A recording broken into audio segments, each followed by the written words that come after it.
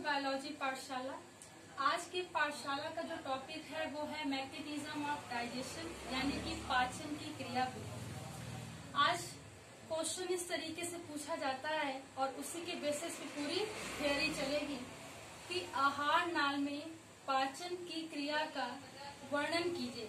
आहार नाल में पाचन की क्रिया का वर्णन कीजिए।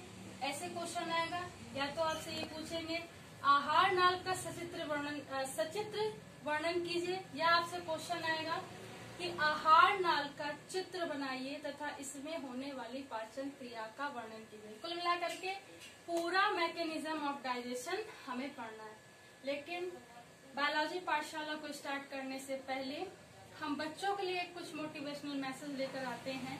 और आज का मैसेज है बच्चों आपके लिए कि कुछ किए बिना जय जयकार नहीं होती। कोशिश करने वालों की हार नहीं होती। लहरों से डरकर नौका पार नहीं होती। कोशिश करने वालों की कभी हार नहीं होती। इसलिए आप सभी कोशिश करते रहिए और आगे बढ़ते रहिए। जिस तरीके से अगर हम क्वेश्चन बताएँ कि क्वेश्चन अगर कैसे आता है तो आपसे डायरेक्ट पूछा जाएगा got the diagram of alimentary canal and explain the mechanism of digestion या हिंदी में कहें कि आहार नाल का, आहार नाल बार लिख दिया आहार नाल का सचित्र वर्णन कीजिए। सचित्र वर्णन कीजिए। तथा पाचन की पाचन की क्रिया विधि को बताइए। पूरा क्वेश्चन इस तरीके से आएगा लॉन्ग में। ठीक है? सिक्स नंबर में आपने क्वेश्चन आता है। ठीक अगर हम इसकी बात करें तो ये इस तरीके से क्वेश्चन आएगा सबसे पहले आपको आहार नाल का डायग्राम बनाना पड़ेगा, ठीक है? तो मान लीजिए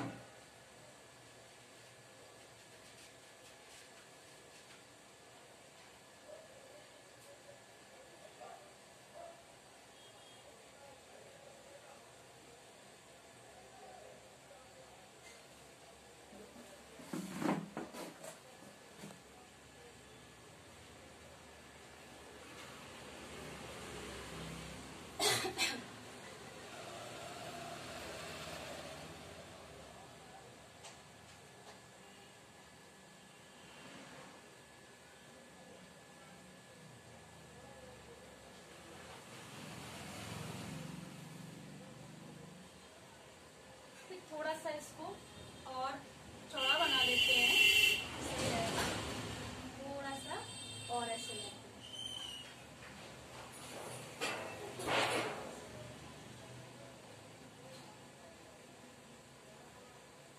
ठीक फिर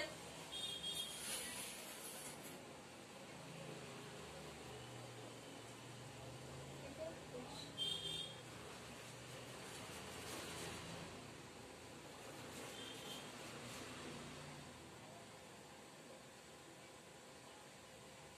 ये हल्का सा और ठीक होना चाहिए। ठीक है? इस तरीके से कुछ। और यहाँ पर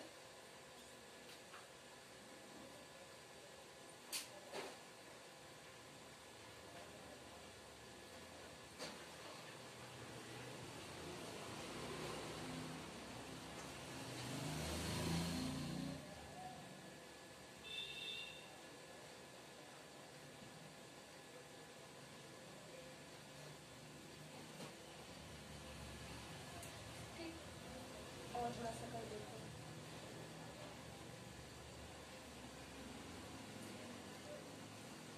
ठीक, ये इसको थोड़ा सा अभी रब कर देते हैं। ठीक, आपको बताने के लिए मैंने लिखा था और इसको थोड़ा सा ऊपर रोट कर देते हैं बना कर देते हैं ये कुछ और थोड़ा सा राउंड में ले आते हैं ताकि देखने में कुछ हद तक सही लगे ठीक इस करी, इस तरीके से कुछ स्ट्रक्चर होता है इसका ठीक है अगर इसकी बात की जाए तो ये जो होता है पार्ट देखिए लेबल करने का कि जो बायोलॉजिकल जितनी भी डायग्रामेटिक फॉर्म हो, कोई भी चित्र हो, उसको एक फॉर्म में लिखने का तरीका होता है। पहले क्या था? पहले तरीका अलग था, लेकिन अब कुछ अलग है। पहले क्या होता था कि चारों तरफ़ लेबलिंग कर दी, चल जाता लेकिन अब का जो प्रोसेस है, आपको एक ही साइड लेबलिंग करनी होती है, ठीक है? अगर आप राइट हैंड साइड करें तो राइट हैंड साइड करें लेफ़्ट हैंड साइड करें तो लेफ़्ट हैंड साइड करें। लेकिन मेरे हिसाब से, और और भी बहुत से जितने हैं, वो ये मानते हैं कि राइट हैंड साइड की जाए तो ज़्यादा बेटर है। लेकिन जैसे ये जो पार्ट है तो इसका ध्यान रखिएगा। ये जो पार्ट होता है बेसिकली ये माउथ होता है। ठीक? ये जो होता है ईसोफेगस होता है। ईसो फिर से लिख दे रहे हैं ईसो ठीक ये जो पार्ट होता है, वो लीवर होता है, ठीक? ये जो पार्ट होता है, वो पेंक्रियाज होता है, ठीक? ये जो पार्ट होता है बेटा स्टोमक होता है, ठीक है? ये जो पार्ट होता है बेटा, इधर साइड ड्यूटेनम होता है, ठीक है? ये जो होती है स्मॉल इंटेस्टाइन होता है, ठीक? उसके बाद अगर बात की जाए तो ये इसका इलम पार्ट होता है, ठीक? उसके बाद अगर बात की जाए तो ये होता है कोलोन ठीक। यहाँ पे होता है रेक्टम ठीक। और ये जो होता है लार्ज इंटेस्टाइन का सबसे लास्ट पार्ट होता है that is also known as anus ठीक। तो इस तरीके से, चाहो तो इसे अच्छे से एरो बना करके, क्योंकि जितना अच्छा प्रेजेंटेशन होती है डायग्राम की, उतने अच्छे मार्क्स दिए जाते हैं। ठीक है? तो बहुत बड़ा रोल होता है, आप बहुत अच्छे से। इसको आप चाहे तो बॉक्स में भी बंद कर सकते हैं। ठीक है? तो देखने वाले की नज़र में तुरंत वो चीज़ हो जाती है, वो फुल फुल मार्क्स देता है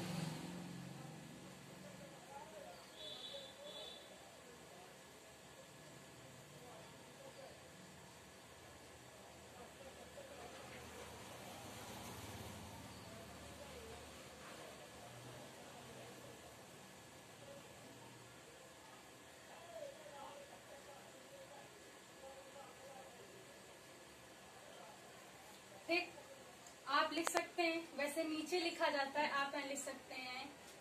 डायग्राम ऑफ़ या स्ट्रक्चर ऑफ़ एलिमेंट्री एलिमेंट्री कहना। ठीक हिंदी में लिख सकते हैं कि आहार नाल का चित्र। ठीक है? आहार नाल का चित्र। अच्छा तो ये कुछ इस तरीके से इसका स्ट्रक्चर बनता है, ठीक है? और ये पूरी इसका, ये जो सबसे पहला पार्ट होता है माउथ यहीं से डाइजेशन का प्रोसेस स्टार्ट होता है। ठीक? ईसोफेगस है। ये जो पार्ट होता है, जिसके तीन लोग होते हैं, इसे लीवर कहते हैं। ठीक? तीन लोग होते हैं, इसे लीवर कहते हैं। ठीक? ये पेनक्रियाज लीफ लाइक स्ट्रक्चर होता है, ये स्टोमक होता है, ठीक है? ये ड्यूडेनम पार्ट होता है, फिर उसी के नीचे स्मॉल इंटेस्टाइन आता है। फिर उसी का पार्ट ईलम आता है। फिर लार्ज जब इंटेस्टाइन आती है तो उसी का पार्ट कोलोन आता है, फिर रेक्टम आता है, फिर एनस आता है। एक और चीज़ होती है, अगर हम बेटा कहा बता दें? यहाँ भी बता दे रहे हैं, हालाँकि कोई वो नहीं, आप लिखने को इधर भी लिख सकते हैं अगर आपके पास जगह नहीं मिली, लेकिन आप अगर राइट हैंड साइड में अगर है, कोशिश करें कि हो जाए राइट हैंड साइड में, या एक साइड में जो भी आप एक्सप्लेन करना चाहते हो जाए अगर नहीं होता है तो आप इधर साइड का भी यूज़ कर सकते हैं। तो ये जो लास्ट होता है, ये एक अवशेषी अंग होता है, ठीक है? वर्मी वर्मी फ्रॉम अपेंडिक्स ठीक ठीक, यहाँ पर एक लास्ट होता है, वो उसे कहते हैं बेटा, सीकम सीकम। ये वर्मी फ्रॉम अपेंडिक्स ठीक है बेटा? और सीकम जो होते हैं, वो बेसिकली जो होते हैं बेटा, एक वेस्टिजियल ऑर्गेन होते हैं अवशेषी अंग होते हैं, और मनुष्य में ये अब अवशेष के रूप में अवशेषी अंग के रूप में पाए जाते हैं, जो कभी उनके पूर्वजों में एक्टिव थे, लेकिन आज वो अवशेषी अंग के रूप में पाए जाते हैं, लेकिन कुछ शाकाहारी जंतु जो होते हैं जैसे खरगोश हो गए, बकरी हो गए, ठीक है? तो उनमें ये वर्मी फ्रॉम अपेंडिक्स और सीकम पाया जाता है। तो ये रेक्टम यहाँ पे लार्ज इंटेस्टाइन कोलोन रेक्टम ठीक है? फिर सीकम एनएस लास्ट पॉइंट होता है। और यहाँ पर वर्मी फ्रॉम अपेंडिक्स होता है, जो एक अवशेषी अंग होता है। तो इस तरीके से कुछ इसका डायग्राम होता है। अब हम इसके मैकेनिज्म की बात करेंगे। क्वेश्चन क्या था कि आहार नाल का सचित्र वर्णन कीजिए। हमने इसका सचित्र वर्णन कर दिया, ठीक? बता दिया कि ये पार्ट होते हैं, ठीक है? अगर यहाँ की बात करें तो माउथ के अंदर तीत होता है, ठीक है? वो भी आप मेंशन कर सकते हो, कोई वो नहीं है, ठीक है? तो इस तरीके से इसका पूरा एक ओवरव्यू हो गया। अगर हम इसके मैकेनिज्म की बात करें तो देखिए कैसे इसको लिखते हैं। ठीक, इसको रब कर दे रहे हैं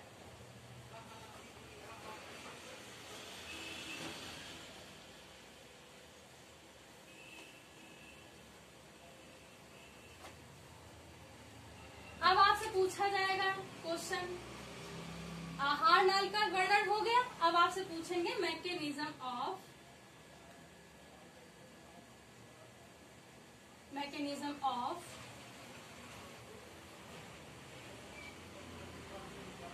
digestion.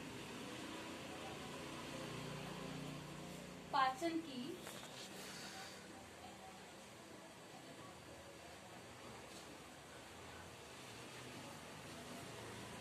क्रिया विधि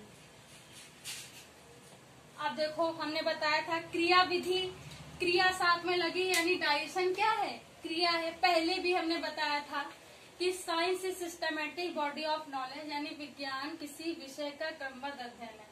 ठीक? यहाँ पे कोई भी टर्म होता है, उसका लिटरली मीन होता है। बिना फैक्ट के, बिना फंडामेंटल मीन के, साइंस बायोलॉजी या किसी विषय की कल्पना करना कठिन होता है। ठीक डाइजेशन यानी कि पाचन की क्रिया विधि का वर्णन करना। है तो जब पाचन की क्रिया विधि तो बाद में, पहले तुम्हें पाचन पता होना चाहिए क्या होगा।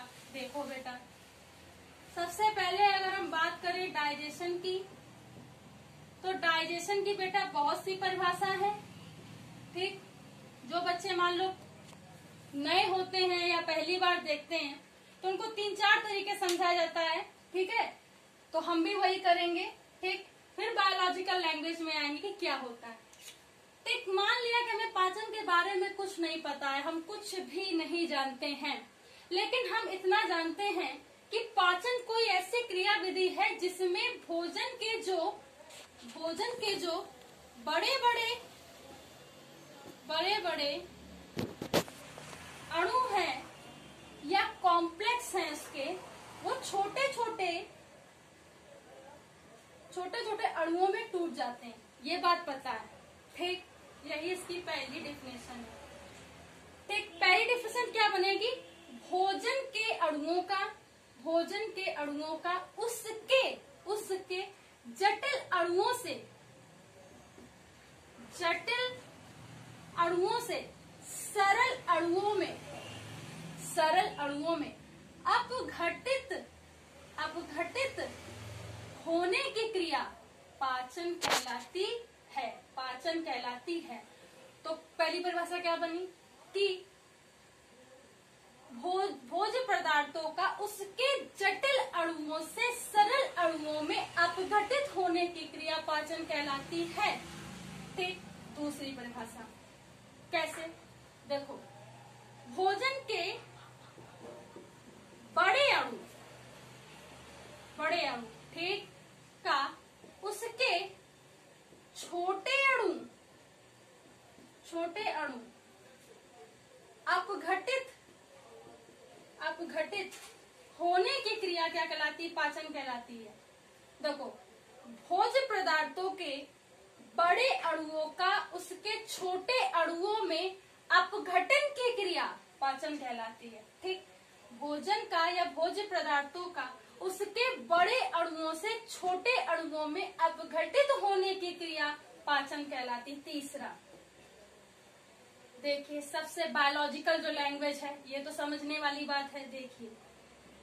भोज्य पदार्थों का, भोज्य पदार्थों का, ठीक एंजाइम की सहायता से एंजाइम की सहायता से उसके उसके जटिल अणुओं का, जटिल अणुओं का, सरल अणुओं में, सरल अणुओं में, जटिल अणुओं का सरल अणुओं में जल अपघटन जल अपघटन पाचन कहलाता है। क्या लैंग्वेज बनी? देखिए। भोज्य पदार्थों का एंजाइम की सहायता से, भोज्य पदार्थों का एंजाइम की सहायता से उसके जटिल अणुओं का सरल अणुओं में जल अपघटन पाचन कहलाता है, ठीक? भोज्य पदार्थों का एंजाइम की सहायता से उसके जटिल अणुओं से सरल अणुओं में जल अपघटन पाचन कहलाता है, यही इसकी बायोलॉजिकल लैंग्वेज है। तो ठीक, अगर जिनको नहीं भी पता, अगर वो ये लिख देंगे, नहीं कटेगा, ठीक है? परेशान मत होना, ठीक? आप ये बात लिख दोगे, नहीं काटेंगे। हो सकता है मार्क्स कम मिले लेकिन काटेगा कोई नहीं, ठीक? अगर आप ये एक्यूरेट बायोलॉजिकल डेफिनेशन लिख देंगे कि भोज्य पदार्थों का, उसके एंजाइम की सहायता से जटिल अणुओं का सरल अणुओं में या बड़े अणुओं का छोटे अणुओं में या जटिल अणुओं का सरल अणुओं में जल अपघटन पाचन कहलाता है। तो इस तरीके से इसकी कुछ डेफिनेशन होती है। अब हम बात करेंगे जब हमने इसकी डाइजेशन की प्रोसेस मतलब डेफिनेशन पढ़ ली तो हम इसके प्रोसेस की बात करेंगे। चलिए रब कर देते हैं इसको। चलिए, फटाफट देखते हैं। सबसे पहला पॉइंट आता है मैकेनिज्म का। फिर जब ये परिभाषा लिख लेंगे तो लिखेंगे, हार, नाल में पाचन की क्रिया हो रही पाचन की क्रिया विधि इस प्रकार होती है। Step number one. पहला होता है digestion in. Digestion in buccal cavity digestion in buccal cavity, ठीक? तो ये डाइजेशन का पहला प्रोसेस है तो सबसे पहले लिखेंगे, पाचन की क्रियाविधि बक्कल कैविटी से अर्थात मुख गुहा से प्रारंभ होती है। सबसे पहला पॉइंट क्या लिखेंगे? पाचन की क्रियाविधि, पाचन की क्रियाविधि ठीक बक्कल कैविटी से स्टार्ट होती है। सबसे पहले पॉइंट क्या लिखेंगे? पाचन की क्रियाविधि बक्कल कैविटी मुख गुहा से आरंभ होती है। फिर लिखोगे? क्या लिखोगे?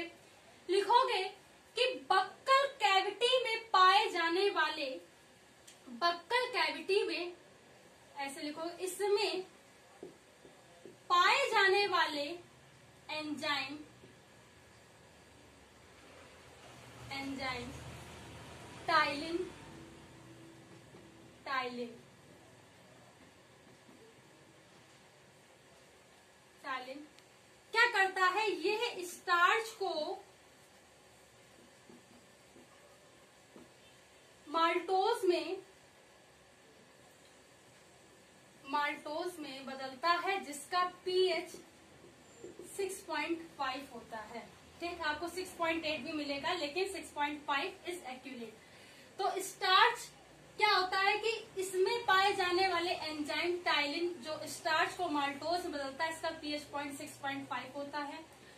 उसके बाद आप पॉइंट लिखोगे कि लार में, ऐसे लिखोगे, बक्कल कैविटी अगर हम बीसी लिख दे शॉर्ट में तो ठीक है।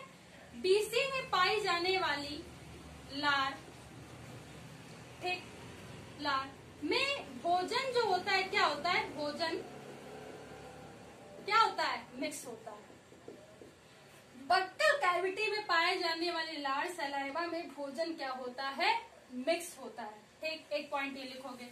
उसके बाद आप ये पॉइंट लिखोगे कि इसमें इसमें, यानी कि बक्कल कैविटी में पाए जाने वाली लार पूरी बक्कल कैविटी को नम नम रखती है। रखती है।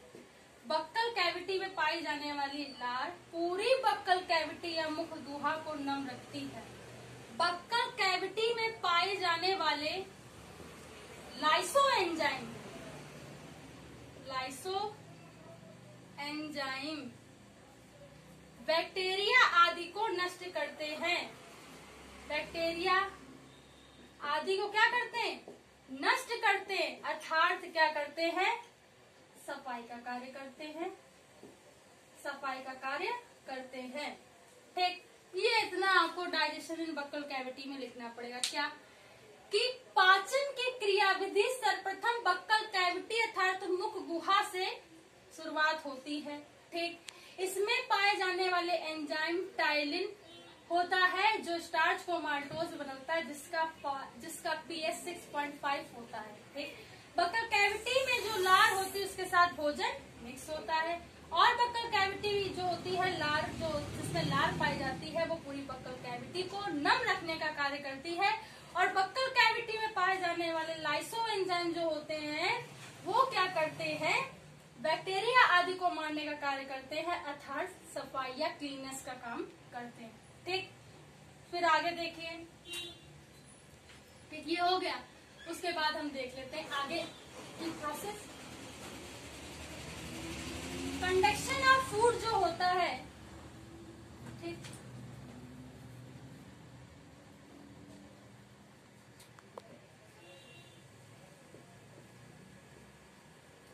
कंडक्शन ऑफ़ फ़ूड में क्या होता है? ईसोफेगस की सहायता से, अब पहले क्या हुआ कि बकल कैविटी में क्या हुआ? सारी चीज़ें प्रोसेस हुआ। फिर ईसोफेगस की की सहायता से जो फ़ूड मटेरियल होता है, वो कहाँ आ जाता है? स्टोमक में आ जाता है। ठीक है? क्या आ जाता है? स्टोमक में आ जाता है। ठीक? आप लिखोगे, किसमें क्या लिखो कंडक्शन ईसोफेगस की सहायता से फ़ूड मटेरियल भोज पदार्थ स्टोमक में आते हैं, अर्थात ईसोफेगस जो करता है, यहाँ पर पाचन की क्रिया नहीं होती। ईसोफेगस भोज पदार्थों को निगलने का काम करता है और इसे स्टोमक में पहुँचा देता है। तो इसमें इतनी पॉइंट आपको लिखनी क्या लिखनी कंडक्शन ऑफ़ फ़ूड में ईसोफेगस की सहायता से भोज्य पदार्थों को स्टोमक में लाया जाता है। अर्थात यहाँ पाचन का प्रोसेस नहीं होता, अर्थात जो ईसोफेगस होता है, यह भोजन को निगलने का कार्य करता है और इसे स्टोमक में पहुँचा देता है। ठीक, अब बात करते हैं स्टोमक की।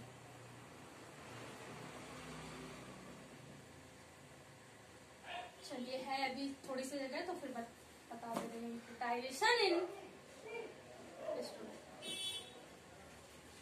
जब अमाशय की बात आएगी तो इसमें क्या होता है? सबसे पहले, ईसोफेगस से लाया गया भोजन। ऐसे देखो देखो, ईसो, अगर इसे फ्लो चार्ट ईसोफेगस से लाया गया भोजन स्टोमक में आता है।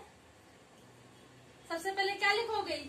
स्टोमक डाइजेशन इन स्टोमक में लोगोगे ईसोफेगस से लाया गया भोजन स्टोमक में आता है। अर्थात यहाँ पर विभिन्न प्रकार की तरंगे उत्पन्न होती हैं जो भोजन को मथने का कार्य करती हैं।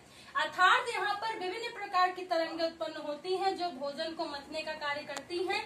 देखो, यहाँ पे कौन सी तरंगे होती है? वो होती है पेरिस्टिलेटिक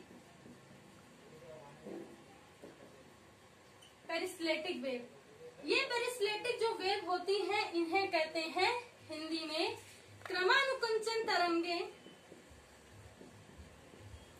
क्रमानुकुंचन तरंगे। ये क्रमानुकुंचन तरंगे जो बेटा होती है, ये क्या करती है? भोजन को भोजन को या फ़ूड मटेरियल को मथने का काम करती है, ठीक? यानी कि ग्रैंड का काम करती है। तो मथने का ये काम करती है। तो डाइजेशन इंस्ट्रूमेंट में क्या लिखेंगे? कि ईसोफेगस के द्वारा स्टोमक में भोजन लाया जाता है। यहाँ पर पेरिसलेटिक या क्रमानुकुंचन तरंगे भोजन को मथने का कार्य करती हैं। ठीक, इसमें पाई जाने वाली गैस्ट्रिक ग्लैंड ठीक, इसमें पाई जाने वाली जो गैस्ट्रिक ग्लैंड होती है बेटा, ठीक, उसमें कुछ सेल्स होती हैं और उन सेल्स में कुछ चीज़ों का पाचन होता है। अब वो हम बताने जा रहे हैं। इतना प्रोसेस समझ में आ गया? कि ईसोफेगस से स्टोमक में लाया जाएगा या पेरिस्लेटिक वेव्स होंगी जो क्रमानुकुंचन तरंगे होती भोजन को मथने का कार्य करती आप आगे बढ़ते हैं।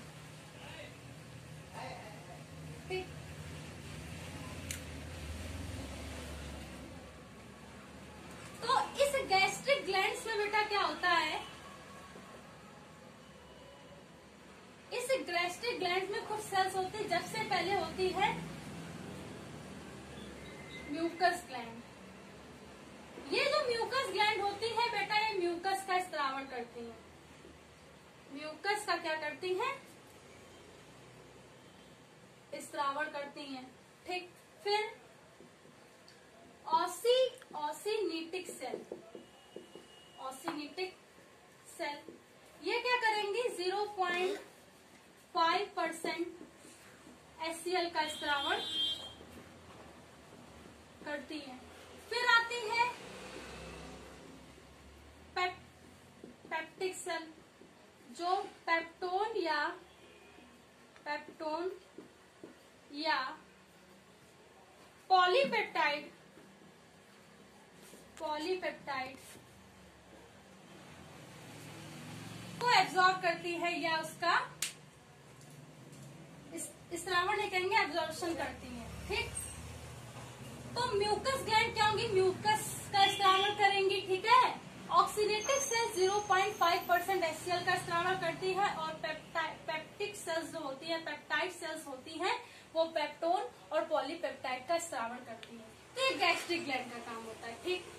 उसके बाद जो ये प्रोसेस होता है, समझ में आया कि सिंपल है कि म्यूकस ग्लैंड म्यूकस का ऑक्सीनेटिक सेल एससीएल का स्त्रावण करेंगी। और जो पेप्टाइड सेल्स होती है पॉलीपेप्टाइड और पेप्टोन का क्या करती है? एब्जॉर्शन करती है। उसके बाद आगे का प्रोसेस इसको हम रख कर देते हैं। अब, अभी तक हमने यहाँ पे देखो साइड में लिख दे रहे ताकि याद रहे। ठीक। बक्कल कैविटी ठीक, फिर ईसोफेगस फिर स्टोमैक ठीक। अब हम लोग बात करेंगे ड्यूडेनम की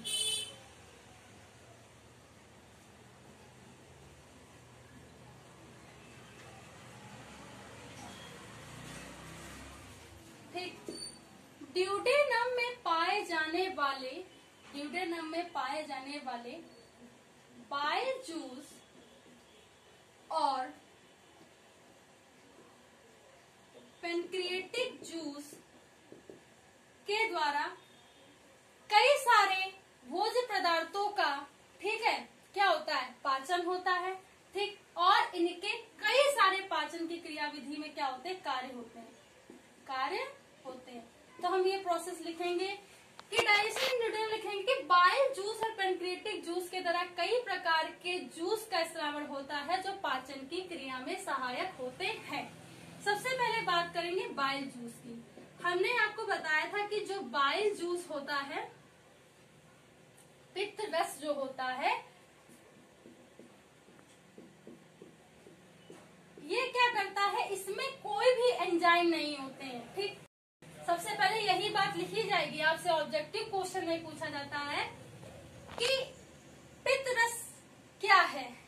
ठीक है एंजाइम है या नहीं है प्रोटीन है या नहीं तो इसमें कोई भी एंजाइम नहीं होता है। लिखेंगे कि बाइल जूस या पित्त रस में कोई भी एंजाइम न होने के कारण भी ये पाचन की यह पाचन की क्रिया में महत्वपूर्ण भूमिका निभाता है।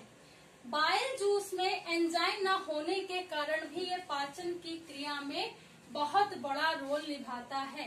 सबसे पहले ये क्या करता है? ये भोजन को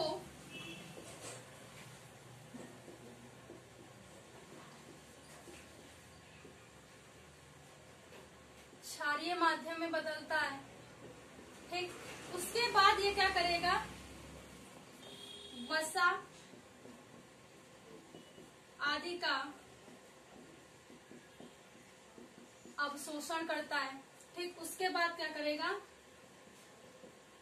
उस सर्जन का कुछ जो फ़ूड ऐसे मटेरियल होंगे, उनको एक्सक्रीट करने मतलब निकालने का काम करेगा, अलग कर देगा उसे। उस सर्जन का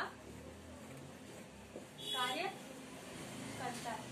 तो बाइल जूस की इतनी कुछ इसके वो होते हैं, ठीक है? और बाइल जूस तो बाइल जूस में क्या होता है, कोई एंजाइम ना होने के कारण भी ये क्या करता है? भोजन को क्षारीय माध्यम बदलता है बसा आदि का शोषण करता है, उत्सर्जन का काम करता है, और ये बैक्टीरिया आदि को बैक्टीरिया आदि को,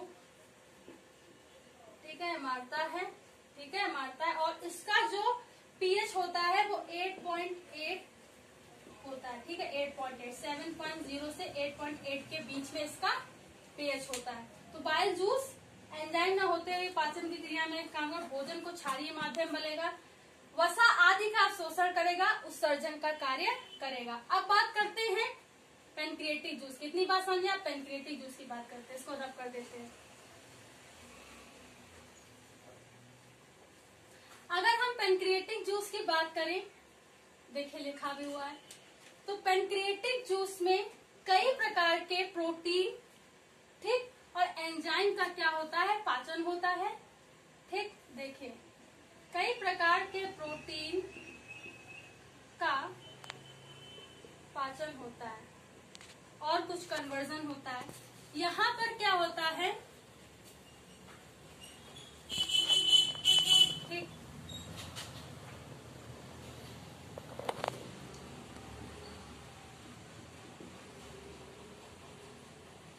कीमोट्रिप्सिनोजन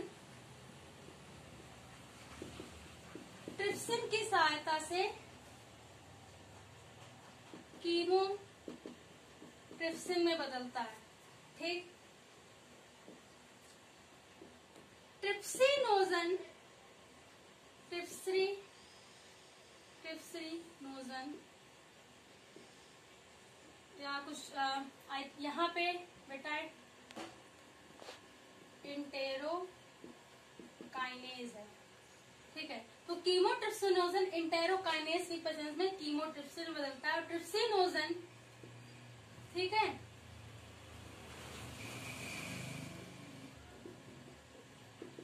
कीमोट्रिप्सिन की प्रेजेंस में ट्रिप्सिन में बदलता है ट्रिप्सिन में बदलता है, ठीक?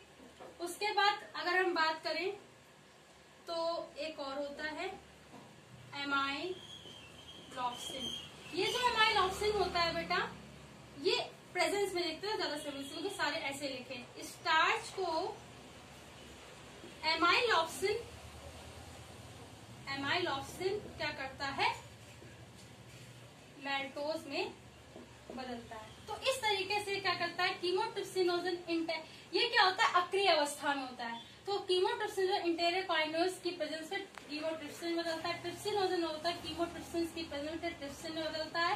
और जो स्टार्च होता है माइलोसिन की प्रेजेंस में माल्टोज में बदलता है। तो ये पेनक्रिएटिक जूस के होते हैं, जिसमें क्या होता है कि प्रोटीन जो होता है, सक्रिय अवस्था में बदलता है।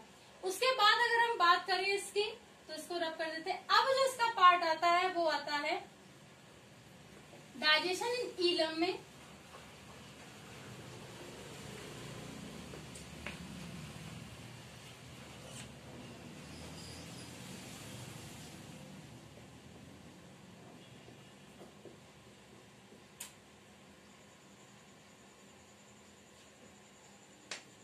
देखिए डाइजेशन इन या स्मॉल इंटेस्टाइन कहें ठीक है? तो यहाँ पे क्या होता है कि यहाँ पर बहुत सारे जो एंजाइम होते हैं, ठीक? और उनके कुछ फ़ूड स्टेप फ़ूड स्टफ़ होते हैं। उन फ़ूड स्टेप से कुछ प्रोडक्ट का फॉर्मेशन होता है, ठीक? तो यहाँ पर कुछ जो प्रोडक्ट होते हैं, उनका फॉर्मेशन होता है और जितने फ़ूड स्टेप होते हैं उनसे हमें प्रोडक्ट मिल जाते हैं और डाइजेशन का प्रोसेस आगे स्टार्ट होता है। अगर हम एंजाइम की बात करें, ठीक है थोड़ा सा यहाँ पे लिख दे रहे हैं। फ़ूड स्टेप की बात करें, ठीक, और प्रोडक्ट की बात करें, ठीक। तो यहाँ पे ऐसा होता है कि एंजाइम बेटा होता है, जैसे मान लीजिए एक एंजाइम होता है आर्जीनेज ठीक आर्जीनेज आर्जीनेज का फ़ूड स्टफ़ होता है आरजी नाइन ठीक? ये आरजी नाइन क्या करता है? यूरिया प्रोडक्ट बनाएगा ठीक है? फिर अगर हम बात करें आ, अगर हम बात करें एक और एंजाइम की माल्टेज बेटा हमने बताया था कि अगर किसी में एज आता है तो उसका मतलब क्या होता है? कि वो एंजाइम है ठीक है? तो याद रखिएगा, देखिए एंजाइम लिखा भी है। ये जो माल्टेज होगा, इसका फ़ूड स्टेप क्या होगा? माल्टोज ठीक, और इससे गैलेक्टोज ठीक, और माल्टोज दोनों ही प्रोडक्ट बनेंगे, ठीक। उसके बाद अगर हम बात करें तो एक और होता है गैलेक्टेस ठीक, नहीं बिल्कुल गलेक्टेज ही होता है। गलेक्टेज ये गलेक्टेज जो होगा ये ग्लू गैलेक्टेज ग्लूकोज और ये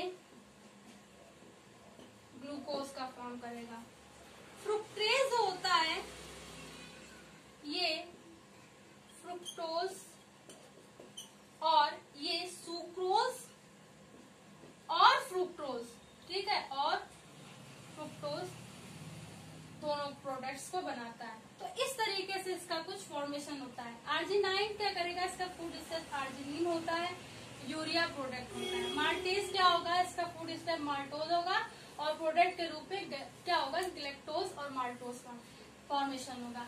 गलेक्टोज जो होता है ठीक है ग्लूकोज होता है इसका फ़ूड स्टेप और ग्लूकोज इसका फॉर्मेशन होता है। फ्रुक्टोज की बात करें तो फ्रुक्टोज जो होता है, ठीक, उससे क्या होगा? फ्रुक्टेज जो होता है एक एंजाइम होता है और उसका फ़ूड स्टेप क्या होगा? फ्रुक्टोज और इससे सुक्रोज और फ्रुक्टोज का फॉर्मेशन होता है। तो इस तरीके से ये इलियम में काम करता है, ठीक। उसके बाद अगर हम बात करें तो ये कर देते हैं इसको।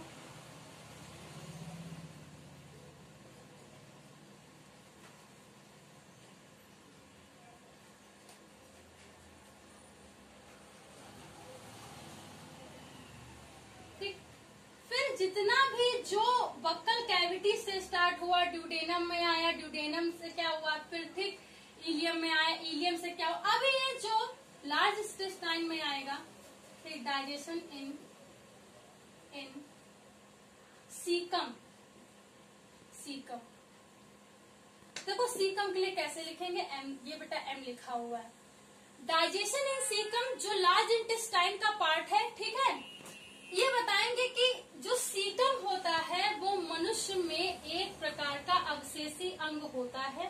ये जो सीकम होता है मनुष्य में एक प्रकार का अवशेषी अंग होता है, अर्थात के मनुष्य में पाचन का कार्य नहीं करता, किंतु शाकाहारी जंतु, किंतु शाकाहारी जंतु जैसे खरगोश, और भी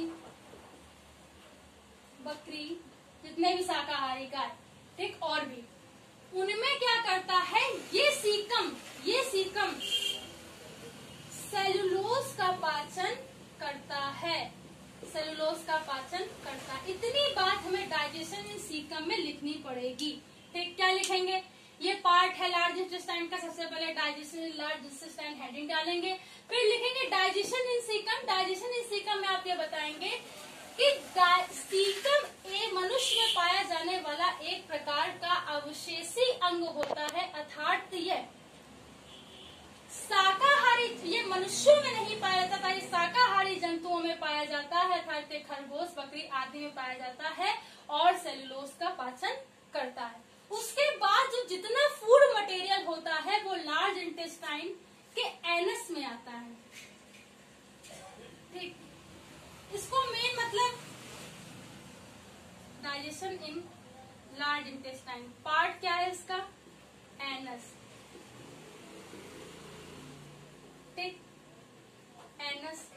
तो ये लास्ट पार्ट होता है, यहाँ पर आया हुआ जितना भी फ़ूड मटेरियल होता है, ठीक? कुछ विभिन्न प्रकार के जो बैक्टीरिया होते हैं, उनके द्वारा भोज पदार्थ पूरी तरीके से लिक्विडिफाई हो जाता है, और फास्फोरस और भी बहुत सारे क्या कहते हैं एलिमेंट्स होते हैं, ठीक? जैसे कि कैल्शियम ठीक है?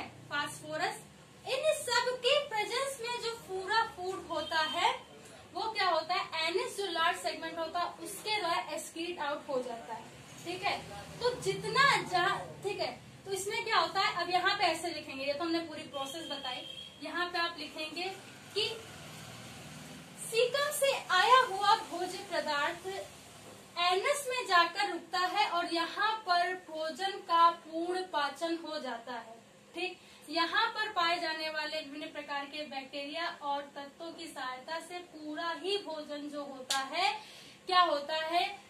पूर्ण रूप से क्या होता है? पाचन की क्रिया हो जाती है और यहाँ पर आकर के पाचन की क्रिया समाप्त होती है और एनएस के द्वारा पूरा जो अनडाइजेस्टेबल फ़ूड होता है पूरा जो अन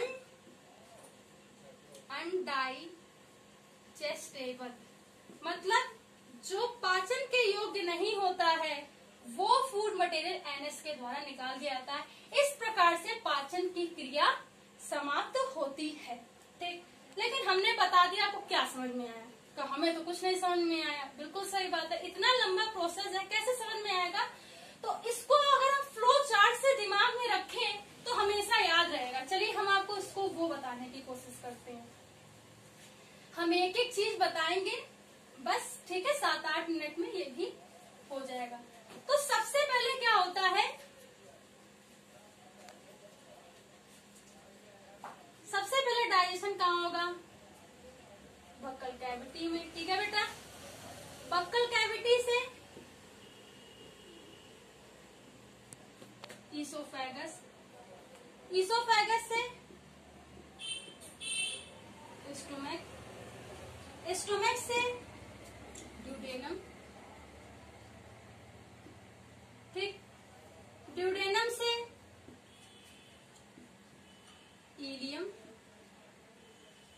ठीक इलम से ये जो डाइजेशन होगा बेटा आएगा, ठीक लार्ज इंटेस्टाइन के सीकम पार्ट में, ठीक सीकम से एनस में, और फिर पूरा प्रोसेस आएगा। अगर ये फ्लो चार्ट अगर आप याद रखें तो याद हो जाएगा कि डाइजेशन की क्रिया बक्कल कैविटी से स्टार्ट होती है और ये लार्ज इंटेस्टाइन के एनिस पार्ट पे खत्म होती है, ठीक? तो बक्कल कैविटी में क्या था कि बहुत सारे एंजाइम थे। उस एंजाइम की सहायता से क्या होता था बहुत सारे एंजाइम थे उस एंजाइम की सहायता से पाचन जो फ़ूड मटेरियल आया है, वो पूरी तरीके से मिक्स हो जाता था, ठीक? और जो एंजाइम होते थे, वो बक्कल कैविटी को नम सफ़ाई का कार्य करते थे, जिसका पीएच होता था 6.5 और अगर आपको याद है तो उसमें लाइसो एंजाइम होता था, जो बैक्टीरिया आदि को मारता था। ईसोफेगस क्या करता था? भोजन को निगलने का काम करता था और यहाँ पे पाचन की कोई क्रिया नहीं होती थी, लेकिन ईसोफेगस से जो डाइजेशन, डाइजेस्टिव फ़ूड होता था बेटा, वो स्टोमक में आता था। यहाँ क्या होता था? यहाँ पर कुछ तरंगे होती थी, ठीक है? तरंगे होती थी तो भोजन को मथने का कार्य करती थी। जब भोजन मथ जाता था, उसमें स्टोमक में पाई जाने वाली गैस्ट्रिक ग्लैंड होती थी। और ये गैस्ट्रिक ग्लैंड क्या करती थी? तीन प्रकार की सेल्स पाई जाती थी। कौन कौन सी? Mucus cell oxyntic cell peptide cell mucus cell mucus का स्रावण करती थी ऑसिनेटिक सेल एससीएल का स्रावण करती थी पेप्टिक सेल जो होती थी पेप्टाइड का फॉर्मेशन करती थी। ड्यूटी और यहाँ पर एससीएल जो होता है एससीएल क्या करता था? भोजन को अम्लीय माध्यम में बदलता था। ठीक भोजन को अम्लीय माध्यम में बदलता था। यहाँ पे और कुछ एंजाइम होते थे। ठीक जो जो प्रोरेनिन हो गया प्रोरेनिन हो गया। ये प्रोरेनिन और प्रो, प्रोपेप्सिन जो होते थे ये सक्रिय अवस्था रेनिन और पेप्सिन में बदलते थे। रेनिन जो होता था वो प्रोटीन का कार्य प्रोटीन का पाचन करता था। और जो सॉरी गलत बोल दिया। पेप्सिन जो होता था वो प्रोटीन का कार्य करता था। रेनिन जो होता था, वो दूध में पाए जाने वाले केसिन का काम करता था।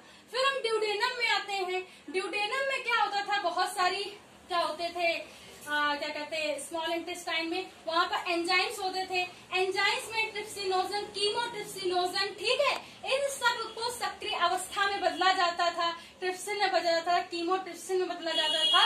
और जब हम ईलम में आते हैं तो इलियम में जितना बचा फ़ूड फ़ूड मटेरियल है जो स्टोमक और ड्यूटेनम में विभिन्न प्रकार के एंजाइम की सहायता से पूरे माध्यम में बदला है।